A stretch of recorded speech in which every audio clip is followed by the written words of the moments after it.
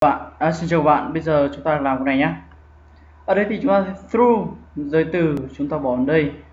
By Smith up cả cụm by Smith up chính là giới từ bằng phương tiện gì đó. Vậy chúng ta bỏ ở đây và bỏ đến đây. Và đây chính là mệnh đề tính từ à, giản lược. Vậy chúng ta cũng bỏ. Rồi thì các bạn thấy là câu này rất là rõ ràng. Đây chính là cấu trúc s phải chấm chấm phải uh, verb o đúng không? Thì nó thiếu gì? Rồi, mình không nói nữa. Chúng ta chỉ có thể là phương án phương a thôi. Cho chỗ này nó chính là like cộng với danh từ. Còn các vân khác thì các bạn thấy là mệnh đề danh từ. Sai. Mà cũng không phải là mệnh đề danh từ, nó đang thiếu là thiếu vấp o, đúng nhỉ? Còn đây chỉ là một danh từ rồi sau đó đây chính là sắp của mệnh đề tính từ. Thiếu là thiếu verb của o, cũng sai. Đây chính là verb cộng với o, cũng sai. Được chưa các bạn nhỉ? Rồi, chào các bạn.